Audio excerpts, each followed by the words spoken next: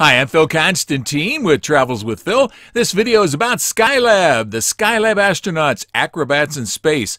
This is one of the very few spacecraft that actually had a lot of room inside. Now, there were three crews, three people on each one of them. They were Skylabs 2, 3, and 4. Skylab number 1 was the actual uh, space station itself. Most people don't remember it. It was America's first uh, space station. And okay, that's me. I used to work at NASA too. I ran the computers uh, for this mission down in Mission Control. And well, just looky here. They didn't have a lot of time to be silly, but all right, he's lifting 500 pounds in outer space. Wouldn't matter how much it was. But look at some of the maneuvers they can do here. It's almost as if they're flying through the area. Now, what they did was they used the uh, area inside a uh, rocket uh, tank and uh, to put additional equipment in. And it, it was a lot of room very, very nice balancing act here. Now, the three crews on uh, uh, crew number two, which was uh, actually, I guess, the first crew, but on Skylab number two, was Pete Conrad, Joe Kerwin, and Paul Weitz. On the uh, Skylab number three was Owen Garriott, Jack Lousma, and Al Bean.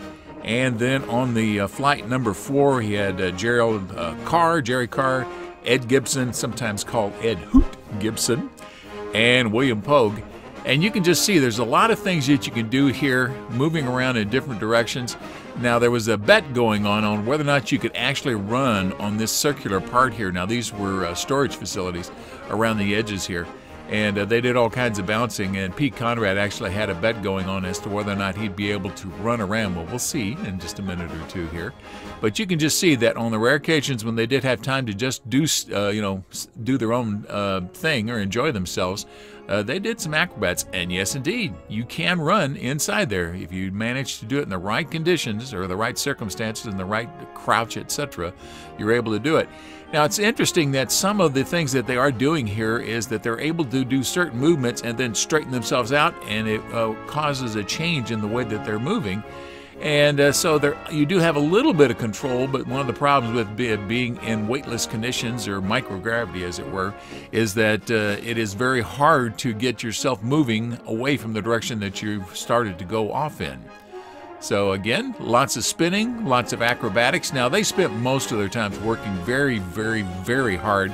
And actually, some of this could actually be uh, qualified as uh, medical experimentations to see how well uh, your uh, your inner ear, your balance uh, can perform once you're in these kinds of circumstances. And actually, believe me, being able to control yourself when you're spinning around can be very important in case of emergency.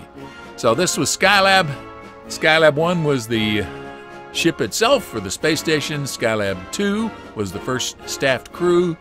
Skylab 3, the uh, second crew. And then Skylab 4 was the uh, third crew. I know it's a little odd there, but the, since the space station itself was number one, it threw everything else off. All right, feel free to leave comments below as long as they're family friendly. And if you have not subscribed yet to my channel, I would appreciate it if you do that. Just can push the button over here on the right hand side, and that'll let you sign up. And that way you'll be notified whenever I have new videos out there on my channel. Thanks a lot for watching. Bye bye.